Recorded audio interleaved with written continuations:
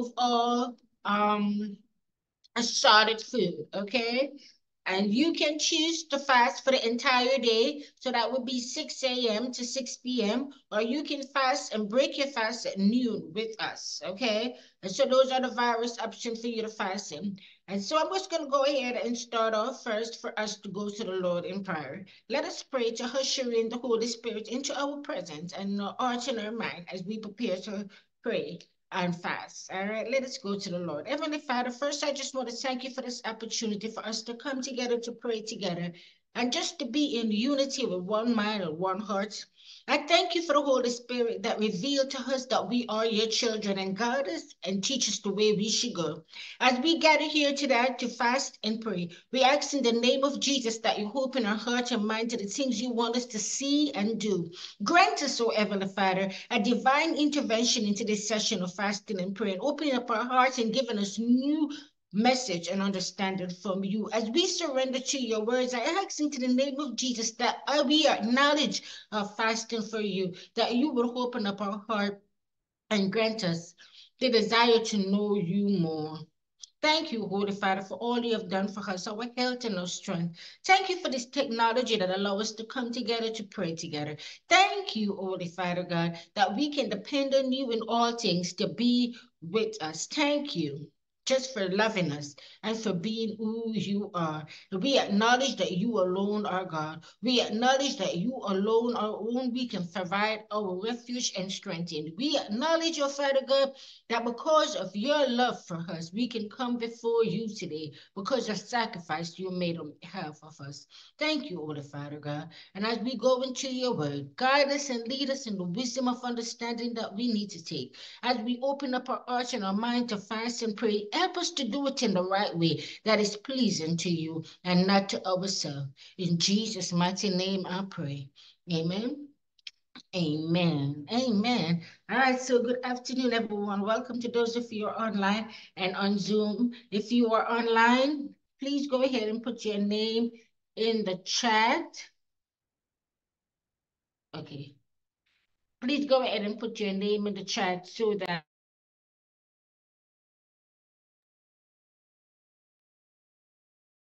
so that I can, you know, I can recognize and know who you are and just to welcome you to our fasting and praying. So this is our first Wednesday for our fasting and praying session. And as I said before, you can fast all day or you can fast and break at noon with us while we fast and pray.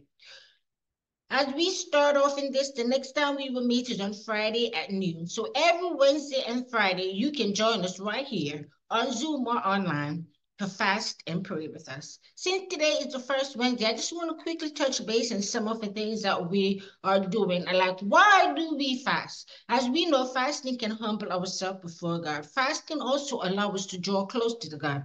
But over the here, fasting it take us so much different reason and so much different type of session and so much different understanding of what it really means. Sometimes people see fasting as dieting. Sometimes people see fasting as something they do because everyone is doing it. You know, like your church is doing the Daniel fasting, you fast with them. So there is so much reason for us to fast. But ultimately, the reason why you should fast is to draw yourself closer to God, to have a deeper relationship with God, humbling yourself before Him and coming before Him.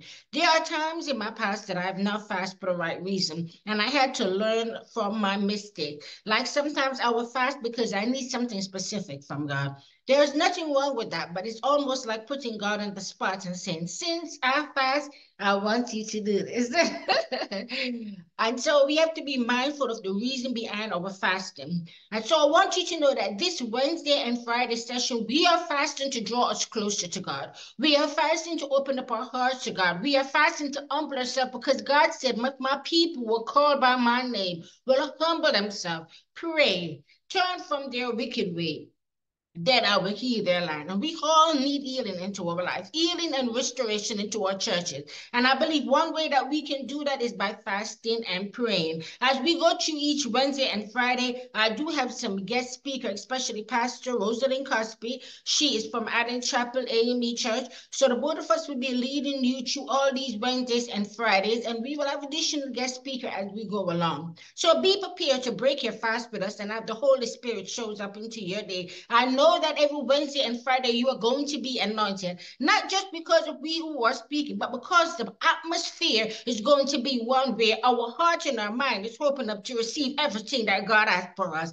And there are times in our life when we get so busy that we don't have that time to usher in the presence of God. And so I know this will happen because we are surrendering ourselves to God. We are saying, God, I need you. So I'm humbling myself and fasting and praying. And so you hear some of the things that we do do to fast and the reason to fast. When Jesus fasted, he was actually led by the Holy Spirit to fast. So sometimes we fast because like this, the church is doing it together to bring unity and love, encouragement, and allowing the spiritual enforcement to be among the people of God. That's why we fasting and praying. As we go into the fasting and praying, the days that you fast and pray, you want to start doing something different because then it will just be avoid eating food. Fasting is not just avoid eating food. You want it to be open up to various new things, you know, such as your fasting should be at that day you fast, you're going to decide, oh, I'm not going to um, watch any TV. I'm not going to play any movie. I'm not going to play video name I'm not going to, I don't know, go out and have fun. On the day you fast, you want to let that time be, hey, God, I am setting this time apart for you. I'm using the time that I used to eat food to surrender to you. The day you fast, you should be praying more. You should be talking to God more. You should be listening to music more. And so I think that sometimes we get lost into the concept of fasting that we actually forget that we are doing it for God. There are times when we just like, okay, I'm fasting today. So I am not going to eat anything until you. I'm not going to eat anything until 6 p.m. But what are you doing for God during that time is of ultimate importance. Your fasting, if it is for you to grow a deeper relationship with God, you should use that time to get in His presence to talk about Him a little bit more, which is why I'm going to jump over on the scripture. And the scripture is coming from Zechariah chapter 7. Zechariah chapter 7. And I am going to read from verses 4 to verses 7, all right? That Zechariah chapter 7, I'm going to be reading from verses 4 to 7 using the New Living Translation. Here is what the word of God says. It says, the Lord of heaven army sent me this message in reply. Say to all your people and your priests, during these 70 years of exile, when you fasted and mourned in the summer and in early autumn, was it really for me that you are fasting? And even now in your holy festival, aren't you eating and drinking just to please yourself? Isn't this the same message the Lord proclaimed to the prophet in years when Jerusalem and the town of Judah were bustling with people, and the Negev and the foothill of Judah were well populated. And so as I read the scripture, I want to touch base on when you fast. Why are you fasting? Are you fasting for God or are you fasting for yourself? The people of Israel was in exile and so they fast every 70 years, even while they were in exile, because they said, this is what God commanded me. So this is the whole concept is that they were fasting. It's not that they weren't doing the action of fasting. They were doing the action of fasting, but their heart was not set in the place that it should be. So God says, when you are fasting, is it really for me? We have to acknowledge our fasting is done for God or if it's done for ourselves. And that's why I want to encourage you as we begin this Wednesday and Friday fasting and praying. I want you to remember it is for God, for us to please God. Come with it for the mindset that today I am fasting and praying because I want to have a relationship with God. Today I'm fasting and praying because I want to hear from God. Today I'm fasting and praying because I want God to show up into my life. Regardless of the reason why you're fasting and praying, it must come back to the ultimate reason, which is for God. And God asked these people while you were fasting and praying. You see, it didn't it makes no difference when they were eating and drinking in the holy festival. They have holy festival and they eat and drink, and then they fast. But all of that was for themselves because they didn't acknowledge God all day. And so we can do that too. We can say, okay, today I'm fasting for God. Whether we are fasting from 6 a.m. to noon or we are fasting from 6 a.m. to 6 p.m., we spend some time in morning and then that's it we don't acknowledge God. Fasting should be a time where we are acknowledging God. It should be the day that we are reading our word of God more. You know, it should be the day that we are praying more. I know it's not easy because while you're fasting, you're still doing the stuff that you did yesterday, the day before. And so your, your mindset has to be shifted. Your mindset should be in this day, everything I do will be to give God glory. And so the way that we can do that is that when you wake up on the day that you're fasting, the first thing you want to do is acknowledge that that day is the day that you're humbling yourself before God. That is the day that you are given a food and liquid just to allow the Holy Spirit to fill your body and mind. That is the day that you're going to let go of every other distraction into the world and just focus mostly on God. Yes. And when you acknowledge that this is the day that you're fasting, you also have to do something important because as human, we are weak. We will get caught up in the day and then we will forget, hey, I'm fasting. And then you'll be like, oh, I forgot that that's what I was doing today. And so as you seek to fast, you know, you want to surrender yourself over to God in prayer, talking to him, acknowledging him. You know, if you're always on your cell phone, then you can go to your cell phone and you can just read your Bible. You know, you can just say, This day I am fasting. On the day we fast, we should be reading the word of God more than the days that we are not. And the day we fast, we should be talking to God more than the days we are not. And so you're all day and for the whole time that you're fasting, you should bring God into it. I know it's not easy, but we have to find ways to do that, or else our fasting is meaningless. And then God is going to ask you, just like He asked the people here, when you fast, is it really for me? And it's yes, it is hard. But when we acknowledge God in our fasting, when we just set that time apart just for Him, then He will show up into some amazing way. Because in that time, we are humbling ourselves. We are recognizing our weakness. And when you fast, yes, it is hard. It's a struggle. But during that time of fasting, we are seeking God from, for our strength. We are saying, God, I need you to give me the strength I need so I can complete this fast with you today. So we acknowledge God and we are depending fully on God. So when that stomach start grumbling, you pray. When the stomach start getting upset, you pray. And so it's a whole process of just involving God in all the issue, especially those people who said, you know, I'm going to try to fast, but I have to take this medicine. That said, I can't take it on my empty stomach. What do I do? Go to God. You will be surprised what your faith will lead you to. That God will allow you to participate in the fast because you know your heart is in the right place. And so as we talk about the acknowledging God, we want to reason behind our fasting. And the one ultimate reason can be just to get a closer relationship with God.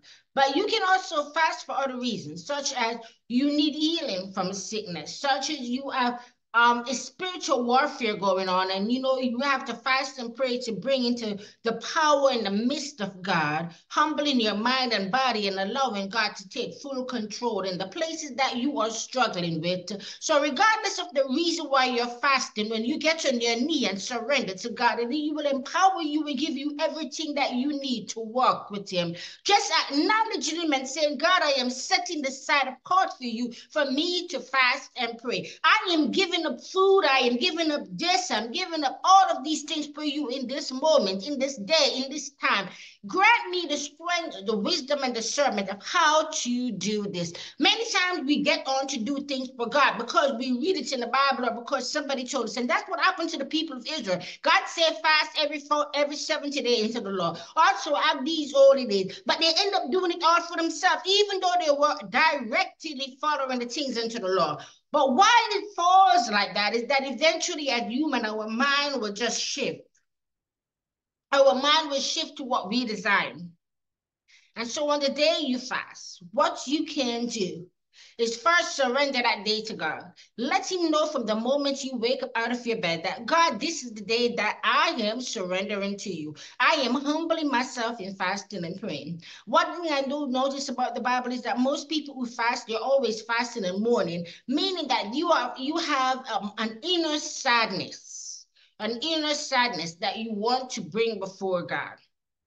And so when you do that, when you are allowing God to just open you up and get that inner sadness in you, is that mean you for that day it doesn't matter what goes on in the world, it's just between you and God. So surrender the day to God. Let God in. Let him know that this time I am setting apart for you. This is the day I want to fast and pray. And so you pray and ask God to give you the strength that you need to make it through these days. You ask him to direct your step as you go. So you are ask him to ask, ask him to let your mind come back and refocus on him. And doing fasting, try to pray in a different way. We have been learning about center prayer during our church. It's a powerful thing. If we allow the center prayer, we can do center prayer, we can do regular prayer. But during the day of fasting, try to do it in a different way. Read your Bible in a different way whatever you used to do. Maybe now you could sit down and study.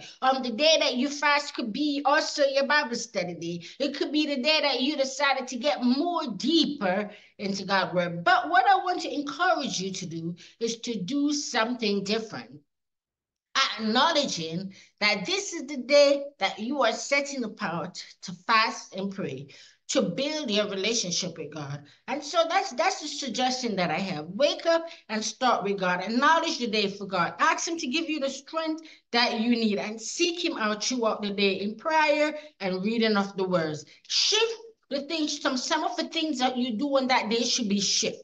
And so if you know you always sit down and watch your favorite movie in the evening until your fast is over, don't do those things that are bringing you pleasure until your fast is over, don't do anything that you know is not bringing honor to God. That way you can fill that day and that hour of things that belongs to God. Amen.